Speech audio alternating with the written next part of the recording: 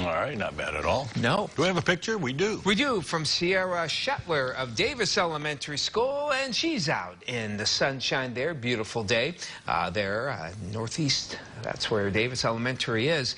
And uh, hey, teachers, we need more. Pi- I'm just realizing, you know, getting a little short on pictures here, so we need to replenish the stock. Uh, love to have it if your kids could draw some pictures and send them here to our station. We'd love to get them on the air. Yeah, he refuses to put mine up that I draw for him every day. That's right, and I, I don't know, I, I just, I, just think that you're just going to scare the kids. All right, I'm sorry. That's I'm just trying to help you out, Tom.